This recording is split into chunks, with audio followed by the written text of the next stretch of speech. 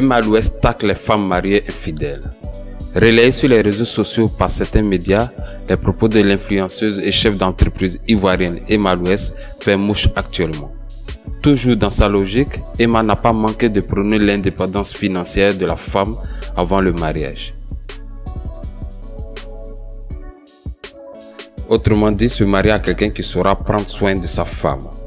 Si ce n'est pas le cas, mieux vaut rester célibataire que de vivre l'infidélité par manque de moyens dans le couple.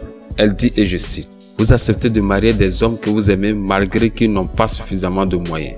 Mais vous les trompez avec des hommes pour de l'argent. Je trouve certaines personnes incohérentes.